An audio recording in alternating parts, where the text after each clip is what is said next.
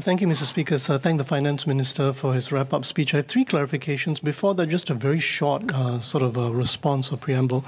I think the Minister talked about what how much the PIT, the personal income tax, would have to rise or the property tax would have to rise to fill the hole if GST was not hiked.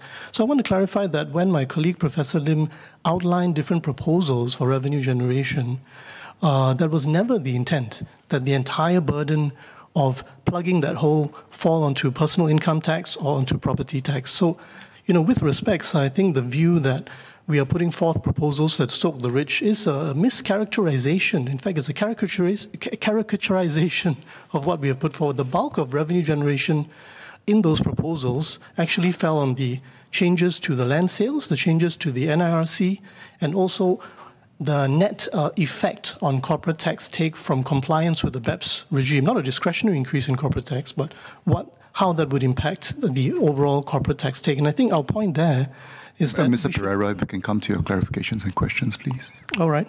Um, let me move to my first uh, clarification, which is uh, I had an exchange with the Honourable Minister, Mr. Lawrence Wong, uh, in this House in 2018, and I asked the Minister uh, at that time what would be a reasonable time interval, you know, uh, when we review these rules governing the reserves. They were amended in 2008. They were amended again in 2015. So what is a reasonable time interval? Are we saying that, you know, it is set in stone and we never amend it? And the Honorable Minister's reply to me at that time was, you know, you never say never. And these things do have to be reviewed at a, at a certain point. So my question is, what does the minister think is a reasonable point in time when we review these rules as we've uh, suggested? The second clarification is on the concept of an optimal uh, level of reserves. I would invite the Minister to agree with me that as the absolute level of reserves increases in dollar terms as a proportion of GDP, you know, we must accept that it is legitimate to bring into place policies that slow the growth of that reserve without depleting it. You know, and on that note, would it be the case that the minister rejects altogether any notion that there is an optimal level of reserves and we keep adding to the reserves ad infinitum? Without any uh, regard to the absolute level and its relation to GDP.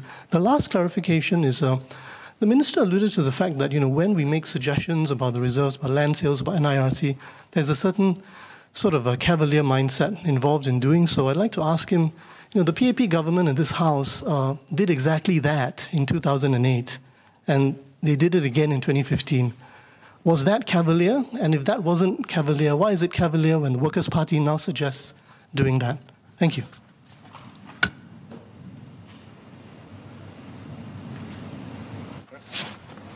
Mr. Speaker, on the three points, um, the first, I recognize that the Workers' Party suggestions for revenue alternatives um, could entail mix and matches as they have highlighted, a bit from here, a bit from there. Uh, but I still say, as I have highlighted, the sums will not add up. Why? Basically, you are asking to tax more from three possible groups as an alternative to GST the wealthy, the better off, large companies, and future generations. So that's what it comes down to.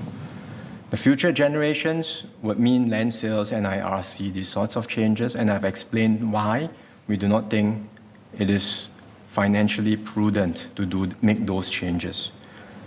Large companies, I have highlighted, this is contingent on the evolving rules around BEPS 2.0, and even if we were to get some additional revenue, we are very likely to go, have to reinvest back to strengthen our competitiveness. Leaves me with the third group, wealthy. And that means wealth taxes, which I've explained can be difficult to do, or property tax, or personal income tax. And if you were to go home in on property tax, I've explained how it's, if you want to get another billion dollars of revenue from property tax, you have to literally almost, you pro probably will have to double property tax rates across the board. That's just 1 billion. GST is 3.5 billion. So, where does the money come from? And that's why I highlighted the sums still do not add up. I appreciate these, uh, take it in good faith that there are these different options that the Workers' Party has offered as alternatives. We've studied all of them, before the budget, during the budget debate, when these options were raised, we went into them again with my team, but we still are not able to make the sums add up. Um, the next two questions, I will take them together. You know, when it's the next reasonable interval where we might re review our reserves rules, is there an optimal level of reserves? It's very hard to answer these questions because I don't have a crystal ball. Um, and really, who knows what will happen to the world in the next 30 years or more? Really, can anybody predict? It's almost impossible.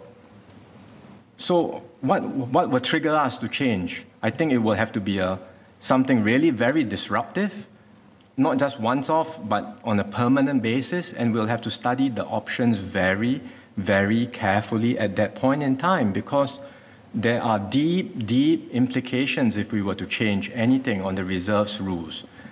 Deep implications for intergenerational equity, essentially resulting in our next generation having to pay more taxes, as I said, and having less to deal with any emergencies in the future. And that's why I would say not something we do today because we have other options.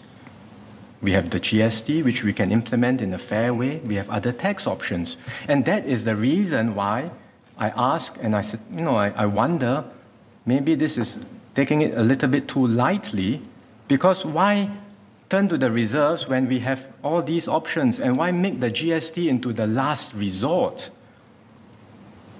But reserves, okay, future generations, never mind, let's do it. But, but GST cannot touch. Why? Why take that approach? Especially when the way we have implemented the GST is not the way the Workers' Party has characterized it. It is not. And you know it too. I've shown the charts. I've explained it. We have explained it before in multiple times and we have reiterated our, reiterated our explanation. So if you understand this, then why, is, why are your proposals anything but GST increase? Even reserves can be touched, but not GST increase. That part, honestly, I can't understand. And it makes me wonder why, um, you know, the Workers' Party cites the excuse that, uh, or cites that you know, the GST increase will hurt the poor. It doesn't. I've explained it. And on that basis, they say they cannot support the budget. But really, you know what you are saying then? You don't want to support all the things we have in this budget to uplift the wages of lower income workers, Workfare, progressive wages to help vulnerable families with KidSTART. You are rejecting all of that I find it hard to understand, frankly, on the misguided view that GST hurts the poor, which it doesn't. And I can only therefore ask whether you are taking things too lightly or whether you are raising this in opposition because of other reasons, political reasons, um, or other things, as opposed to seriously looking at the facts and doing what's right for Singapore.